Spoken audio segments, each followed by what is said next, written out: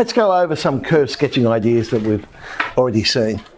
So the sort of uh, function I'm thinking of here is one where we have a, a fraction polynomial on a polynomial, that sort of function.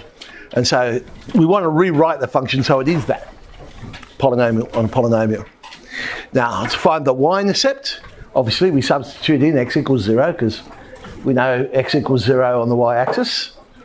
Find the x-intercept, once it's written as one fraction, we can just look at the numerator, solve that equals 0. Um, we could perform a polynomial division to go and find any asymptotes, things like that. But once we uh, perform it, then our function, which was some polynomial on top of another polynomial, we can now rewrite it as quotient plus remainder on divisor.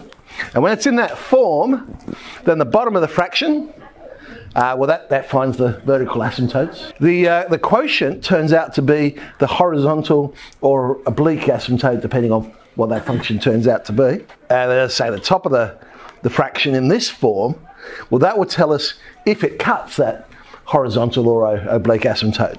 Other thing to just look for are things like symmetry, because that can be useful in drawing graphs. Because if you know it's got rotational symmetry or reflectional symmetry. Asymptotes. Okay.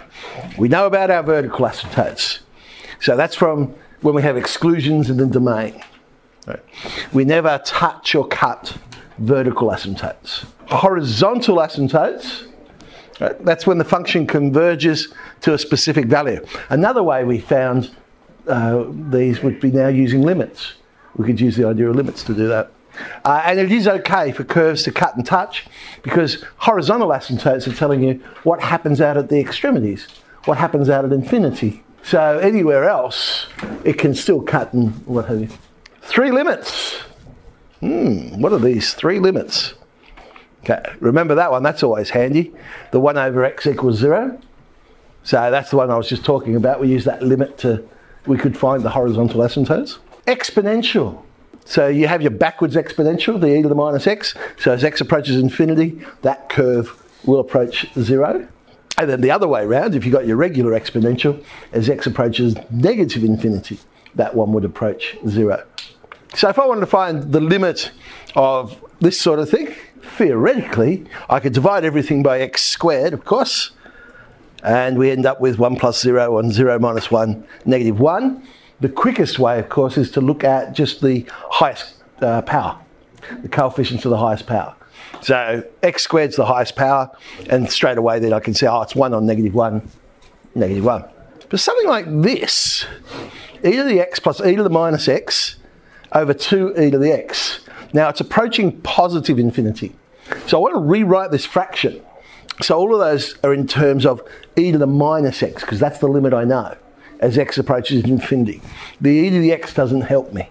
So I can do that by dividing everything by e to the power of x. So if I divide everything by e to the power of x, I now get 1 plus e to the minus 2x. So the e to the minus 2x is the backwards exponential. We know that bit's going to go to 0, so the limit of this would be a half. So it depends on whether I'm going to infinity or whether I'm going to minus infinity. So what would happen with this function at minus infinity?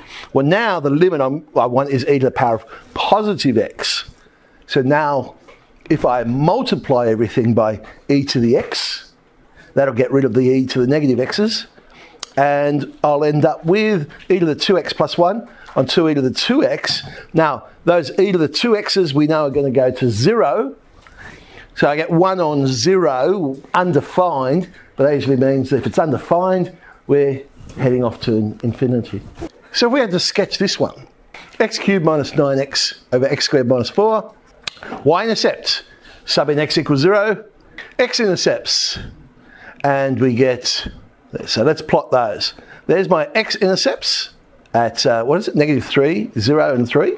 So I do our polynomial division. I now know there'll be vertical asymptotes at plus or minus 2. So I'll pop those in. And there'll be an oblique asymptote at y equals x. The curve meets the asymptote. Well, yes, it does, because the top of that fraction can equal 0. And again, that's going to be at x equals 0. We bend towards the asymptotes. It's an odd function. That's the other thing you notice there. So we know we've got rotational symmetry. There it is. So it bends towards our asymptotes. Um, the only question, I suppose, is in the middle. I've drawn it in this way. The only other question was, well, it might have gone the reverse of that. Uh, I guess that's just a matter of testing a point to see if it's positive or negative, and then you know which way round it's going. Okay, so we'll play with that curve sketching.